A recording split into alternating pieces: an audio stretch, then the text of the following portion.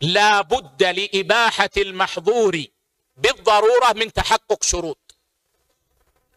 الشرط الأول أن يتحقق أنها ضرورة فليس كل ما ادعي أنه ضرورة كان ضرورة شرعا.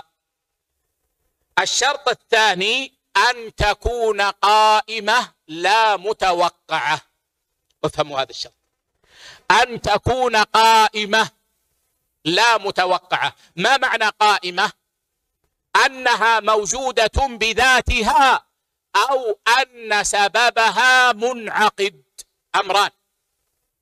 أنها موجودة بذاتها. هذا الأمر الأول. الأمر الثاني أن سببها منعقد. وهذا ضابط عند أهل العلم. انعقاد السبب كالوقوع. انعقاد السبب كالوقوع. فإذا انعقد السبب كان كأن الشيء قد وقع. وأعطيكم مثالا للأمرين. الأمر الأول إنسان يسير في الصحراء ولا زاد معه وخشي الموت فوجد ميته. الآن الضرورة واقعة أو غير واقعة؟ واقعة موجودة. يجوز له أن يأكل من الميتة. طيب قال يا شيخ أنا الآن وجدت هذه الميتة لكن ما أدري متى ينتهي هذا الطريق. وليس معي شيء وأخشى أن أجوع مرة أخرى جوعا شديدا ولا أجد شيئا. فهل يجوز أن أحمل من الميتة معي؟ نقول نعم يجوز. لأن السبب منعقد. نعم الآن أنت شبعت وأمنت من الموت. لكن السبب الذي يوقع في الضرورة قائم. فإنك لا زلت في صحراء ولا تدري متى ينتهي الطريق. أما أن تكون متوقعة بمعنى كما يقول العامة محتملة. يمكن. يمكن.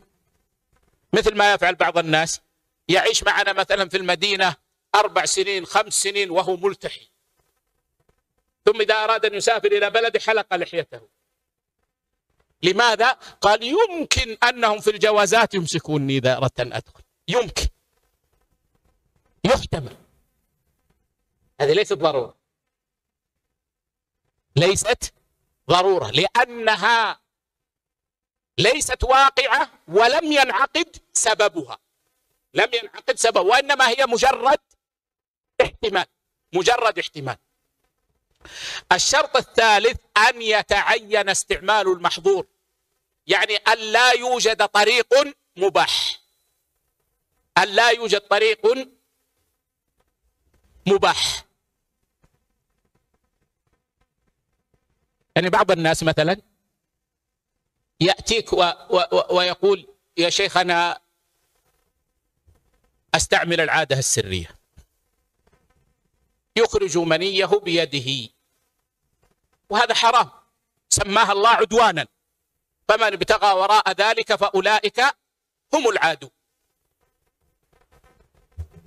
ويقول يا شيخ لكني والله مضطر. أخاف على نفسي الوقوع في الزنا.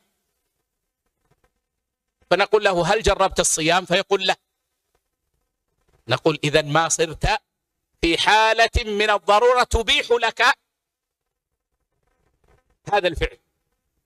لأن هناك سببا مباحا دل عليه النبي صلى الله عليه وسلم لعلاج هذا الأمر. عليك بالصوم. عليك بالصوم. فما دام أنه يوجد سبب مباح فإن المحرم لا يباح.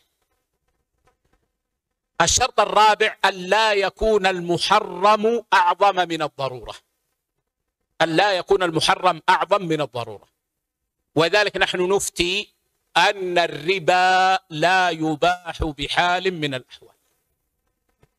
لأن الربا أعظم من كل ضرورة يمكن أن تقال. لأن النبي صلى الله عليه وسلم ساوى الدرهم الواحد الذي يأكله الرجل وهو يعلم من الربا بست وثلاثين زنية. أدناها أن يأتي الرجل أمة. فأي ضرورة يمكن أن تكون يعني أعظم من هذا؟ والعلماء يقولون لا يجوز للإنسان إذا أكره بالقتل أن يقتل. لأن قتله لغيره أعظم من الضرورة التي هو فيها.